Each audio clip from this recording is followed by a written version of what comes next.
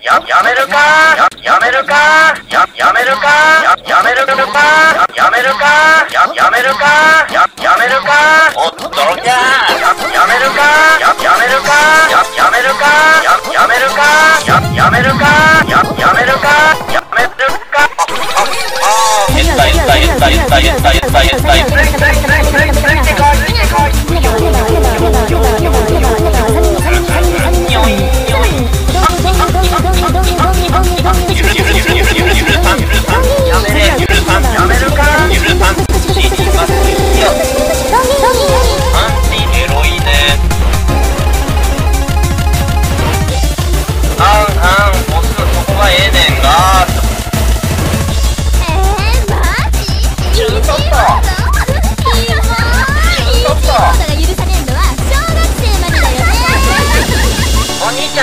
といてそいつ殺さない。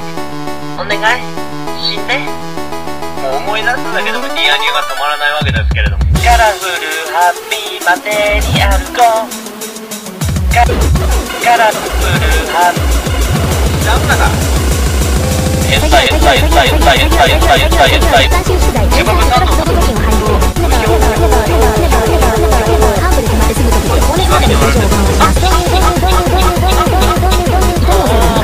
かなりかな人類は過ちをなぜ繰り返すのか頑張れ